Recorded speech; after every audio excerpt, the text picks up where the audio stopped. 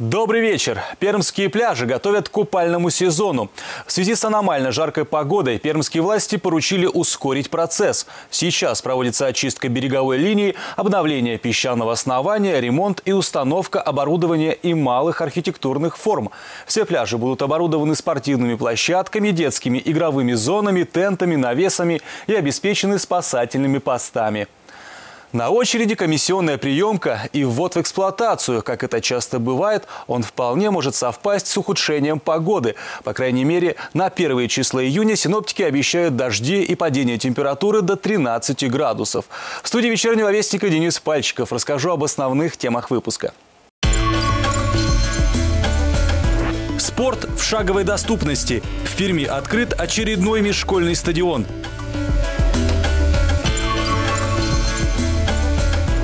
Есть вопросы? Обращайтесь. Глава Перми провел очередную прямую линию с горожанами. Политические новички. Партия Роста планирует набрать не меньше 10% на выборах в ЗС.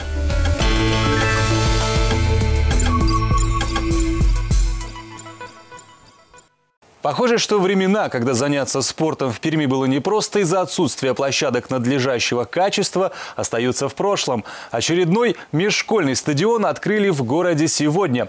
В планах еще несколько объектов. Что же, спорт в шаговой доступности не может не радовать. Теперь очередь за желающими. Глеб Челноков всего 4 года занимается футболом и уже мечтает о карьере профессионального игрока. Теперь любимый спорт доступен не только в секции, но и в родном лицее, рассказывает Глеб. А футбол мне нравится тем, что, что там красивая игра, там, там надо думать, надо иметь смекалку, хитрость всякую, ну, силу. Да, туда слабых не беру. Я пришел в эту школу, э, первый класс тут была, это как, асфальт один и ворота. То есть, если упал, там больно, сразу что-то такое. А, второй класс тоже такое было. Вот сейчас третий класс пришел, наконец тут построили, и так хорошо бегать стало. Лучше для нас. Ученики лицея номер 10 уверены, что с такой площадкой их ждет еще больше побед. Спортивная площадка оснащена по последним технологиям и нацелена именно на безопасность детей. Она проклеена резиновым покрытием, на футбольном поле установлен искусственный газон и есть обязательно ограждение между игровыми полями.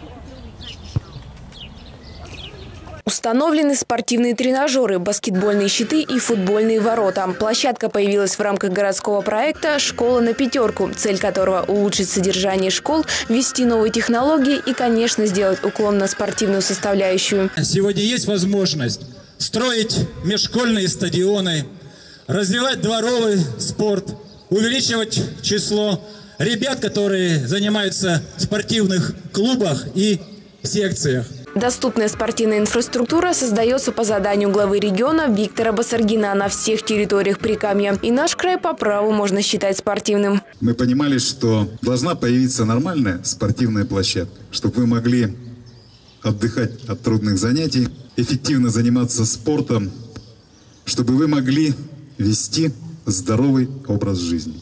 Желаю вам благополучия, хороших спортивных достижений – и чтобы все эти спортивные достижения приумножали ваши успехи в учебе.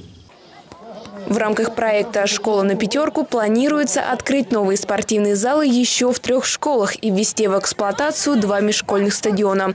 В этом году на строительство спортивных объектов из бюджета Пермского края выделено 49 миллионов рублей. Валерия Ермакова, Владислав Рашидов, телекомпания «Ветта».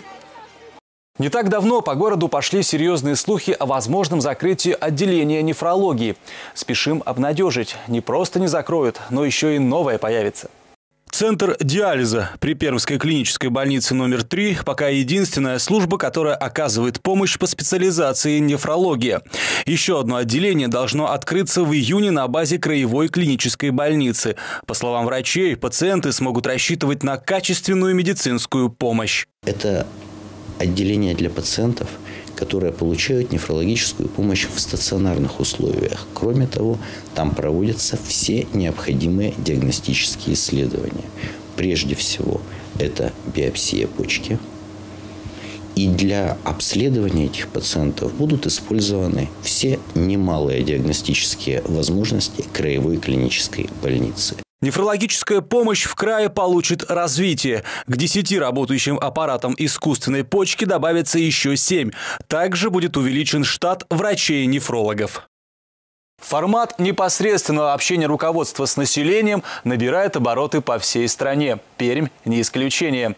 Принцип «не можешь получить информацию у ответственных лиц, спроси у мэра» пользуется популярностью, в чем в очередной раз убедилась наша съемочная группа. Почему незаконно установленный шлагбаум не могут, ну как сказать, убрать? Почему надо только все это делать через суд? Колл-центре главы города кипит работа. Игорь Сапко лично держит связь с горожанами. Для главы города такой ресурс – еще одна возможность контролировать качество работы администрации Перми. В ходе прямой линии тем, которые волнуют пермяков, как обычно, много. ЖКХ, внешнее благоустройство, коммунальные вопросы. Не обошли стороной уже ставшую традиционной проблему бездомных собак. Они периодически нападают на людей, живут у нас в подвале. Скажите, вот куда обращаться? Недавно полномочия по отлову безнадзорных животных переданы на муниципальный уровень с финансированием и краевым, и дополнительно выделенным на а, предпоследнем заседании городской думы из а, городского бюджета уже э, усилена работа по э, этому направлению. Много звонков поступило по теме дорожного ремонта. В первую очередь горожан волновали конкретные объекты и сроки их реконструкции. Скажите, пожалуйста, когда приведут Верхнемулинскую дорогу в порядок? На Верхнемулинскую улицу заходим уже на следующей неделе. Там э, большой объем работ. Верхнемулинская много лет не ремонтировалась. Э, там, конечно, нужно наводить порядок. Думаю, что в течение двух месяцев нашего э, дорожного сезона улица э, будет отвечать всем необходимым требованиям. Не забыли пермяки поздравить главу города с победой на прошедших праймерис и поблагодарили за работу, которая ведется в городе под его началом. Всего в ходе прямой линии Игорь Сапко ответил на 21 звонок. 14 градоначальник взял на личный контроль. Следующее дежурство в колл-центре состоится 1 июня. Связь с жителями будут держать представители Управления по развитию потребительского рынка администрации Перми. Денис Пальчиков, Андрей Соловьев, телекомпания «Ветта». Наш город пользуется популярностью у иностранцев. Поток приезжающих в Пермь представителей власти и бизнеса из-за рубежа увеличивается с каждым годом. Вот только маршруты передвижения у них как под копирку, зачастую одни и те же. Что и кто привлекает заграничных гостей, расскажем далее. Каждый десятый гость Перми – иностранец из Германии, Турции, Италии, Китая, США, Аргентины. В прошлом году к нам приехали почти две с половиной тысячи туристов из-за рубежа. Интерес к Пермскому краю остается высоким, несмотря на прохладные отношения с некоторыми странами Запада. Казалось бы, такому вниманию стоит только радоваться. Вот только Кунгурская ледяная пещера, красоты дикой природы или театры остаются невостребованы. Маршруты иностранных иностранных пилигримов, судя по цифрам статистики, одни и те же. Вот и финский посол в Москве Хану Химанин, гостивший в Перми в рамках фестиваля скандинавской культуры, не был оригинален в выборе направлений. У него своя была программа, и, насколько мне известно, он посетил, э, по-моему, Хухловку, было масленичное гуляние, и, по-моему, музей тоже посетил наш Пермь-36, что было ему предложено. А как же пермский балет? Каждый третий иностранный гражданин, бывший в Прикамье, и в Перми 36 побывал. Но ведь не одним музеем истории политических репрессий хочется, чтобы славен был Пермский край. Иностранные делегации как будто заученно выдают одни и те же фразы, постоянно напоминают там об ошибках прошлого и учат жизни. Надеемся, что это сохраняется и развивается так, что это было бы э, более известно. Там посещали э, множество россиян и э, тоже иностранцы. Так что это, я бы сказал, очень важно, что люди тоже молодого поколения знали бы, что в прошлом произошло, почему. И таким образом, скажем, ну, стать луч, лучшими гражданами мира. Если посмотреть программы официальных визитов, то западные послы приезжают к нам для расширения международных связей и культурного обмена, но посещают почему-то одни и те же места и встречаются с одними и теми же активистами пермских НКО, обещая молочные реки, кисельные берега и вообще всестороннюю поддержку. И непонятно, что для таких гостей первично, а что так, как говорится, для галочки и отвода глаз. Ездить по-старому, сдавать по-новому. С 1 сентября вступает в силу новый регламент прохождения экзаменов на водительские права. Права снова станет получить сложнее. Изменения коснутся обеих частей экзамена. Вместо двух обязательных упражнений на площадке теперь четыре. Добавилась новая задача – поворот на 90 градусов. Ее нужно будет выполнить, проезжая змейку, а после заехать задом в гараж. Флажков в конусах теперь не будет, но волноваться придется недолго. На выполнение каждого упражнения отведены две минуты. В настоящий момент такие корректировки вносятся систематически, то есть вот 1 сентября это очередной этап, и мы сейчас видим, видим, что кандидаты в образовательных учреждениях, которые проходят обучение, они в целом стали готовиться больше и серьезнее. То есть в этом отношении есть ряд определенных э, нововведений, которые сейчас э, непосредственно вот эта вот вся система э, автомобильного образования воспринимает. То есть она идет много со временем. Вы, наверное, заметили, что многие автошколы закрылись, так как не прошли либо аккредитацию, либо по каким-то еще другим причинам. То есть в целом это все влияет на процесс безопасности дорожного движения. Количество заданий в теории останется прежним – 20 вопросов. Правда, теперь, допустив одну ошибку, ученик должен будет ответить на дополнительные 5 вопросов. Второй промах сделает сдачу экзамена в этот раз недоступной. Игроков на политическом поле становится больше. Партия Роста планирует привлечь под свои знамена средний класс. Планы на грядущие выборы самые амбициозные. Подробности прямо сейчас. Каждое политическое движение, которое собирается на выборы в сентябре, находится на своей стадии подготовки к этому событию. В Перми, например, представили партию роста с ее кандидатами и предвыборными постулатами. Жителям предлагают созвучную наименованию движения «Экономику роста». Партия намерена работать на победу во всех округах. Задача минимум 15% голосов на выборах в Гордуму и 10 в законодательное собрание региона, говорит Виктор Пахмелкин. Сам политик собирается баллотироваться в Государственную Думу по 58-му округу. Еще один кандидат в депутаты – Антон Любич. Он также войдет в список на выборы в законодательное собрание края. В Пермский край возвращается политическая конкуренция. Некоторые люди думают, что 22 мая для них все закончилось. Для них все только начинается.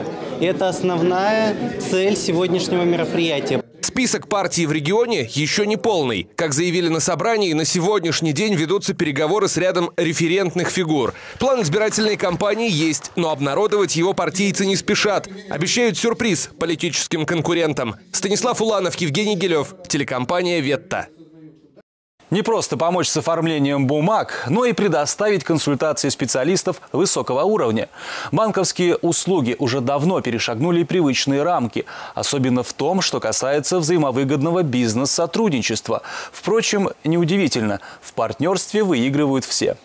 Быть внимательным и даже чутким к индивидуальным потребностям каждого клиента. О том, какие требования предъявляются к предпринимателям сегодня, пермским бизнесменам рассказывает московский бизнес-тренер. Обучающее мероприятие в преддверии Дня предпринимательства организовал Сбербанк.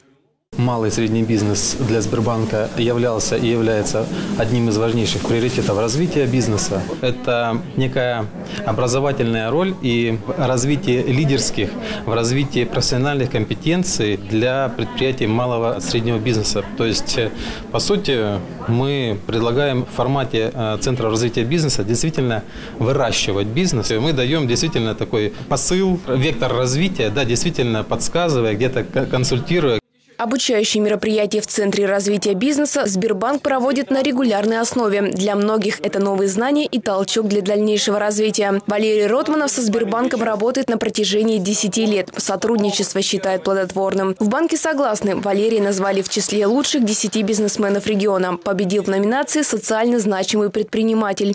С 2010 года очень плотно работаем по обновлению техники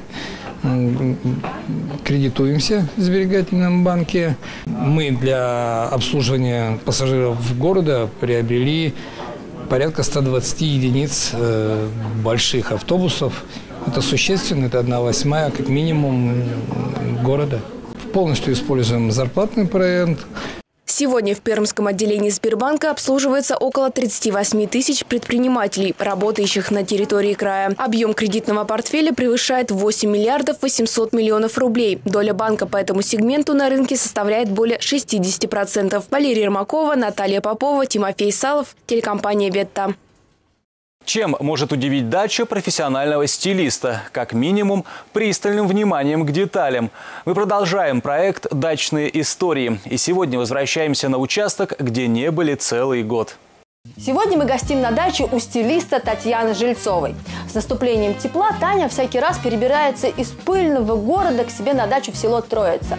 Здесь когда-то неподалеку жил поэт-футурист Василий Каменский. И может быть вот такое соседство, а может быть прекрасная природа Троицы будет нашей героине самый настоящий дух творчества.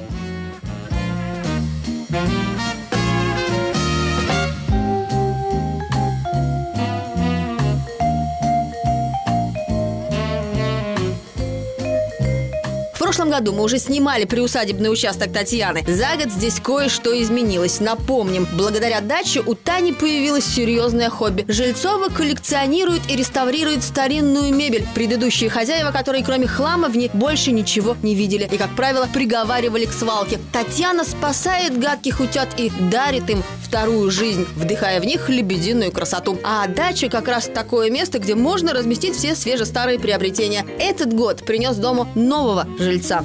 Этот шкаф раньше стоял в гараже. И вообще хозяева его хотели сжечь, выбросить, потому что он представлял из себя такое ну, плачевное зрелище был весь э, облупленный, коричневый, некрасивый, старый. Когда я его увидела, меня просто потрясла вот эта фурнитура интересная. Ну, вообще как-то вот он мне, э, скажем, запал в душу. Я думаю, как можно, я из него что-нибудь сделаю. Ну и вот он попал в мои рученьки. Наверное, месяц я там разные слои за слоями на него накладывала. Вот в итоге получился у нас такой вот красивый господин шкаф.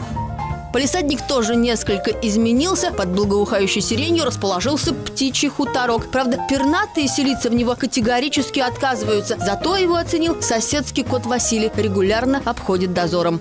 Однажды я гуляла по берегу Сыловы и обратила внимание вот на такую вот чудесную корягу. Естественно, не могла пройти мимо. Подхватила ее и притащила домой. В квартире у меня завалялся вот такой вот э, скворечник, и я помогла ему соединиться с этой корягой, создав вот такой вот садовый арт-объект. На веранде симпатичный сундук. Таня его прикупила в интернете. По легенде, да и по внешнему виду, старцу больше ста лет, но он еще крепок и вынослив. Сначала Жильцова хотела отредактировать его под французский прованс, но потом решила, пусть останется честная аутентичность. Подумала, что он и так достаточно хорош. Хорош. И мы временно его сюда поставили, но ничего не бывает временным, как постоянным, да. И он у нас вот здесь обитает уже который год. Я его приспособила под э, садовый инвентарь. Кроме творческих работ, Татьяна занимается и вполне прагматичными. Сегодня на повестке дня посадка помидоров. Дача все-таки хорошее подспорье в домашнем хозяйстве. А если руки умелые, талантливы они во многом. Во всяком случае, в случае с Татьяной дела обстоят именно так. Полина Рифова, Владислав Рашидов, телекомпания «Ветта». Далее вас ждет наша традиционная рубрика «Эх, дороги», а также не пропустите витрины и астропрогноз. Я же ненадолго прощаюсь. Ближайший выпуск «Вестника» в 21 час. В студии Денис Пальчиков. Хорошего вечера.